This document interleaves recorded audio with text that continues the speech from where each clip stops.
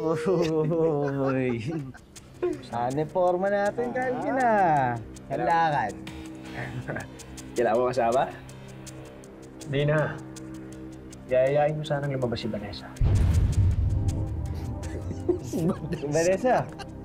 Si Vanessa. Iba yata ihip ng hangin ah. Dati gusto mo lang siyang patayin. Ngayon, gusto mo nang mahalin.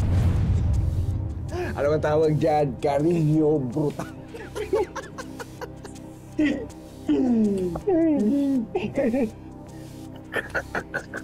Hindi ko alam kung bakit eh, pero magkaiba yung Vanessa noon sa Vanessa ngayon.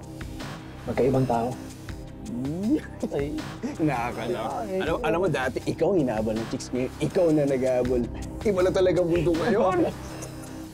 Di ba? Wala, gusto ko talaga magpakatino para dito kay Vanessa. Para makakuha ko siya.